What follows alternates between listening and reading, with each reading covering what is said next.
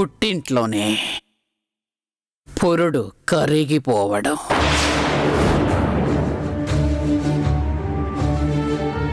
కన్న తల్లి వల్లే ఇంత పెద్ద కష్టం రావడం.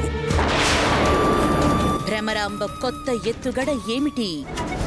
పద్మావతి కళ్యాణం మధ్యాహ్నం రెండు గంటల ముప్పై నిమిషాలకు.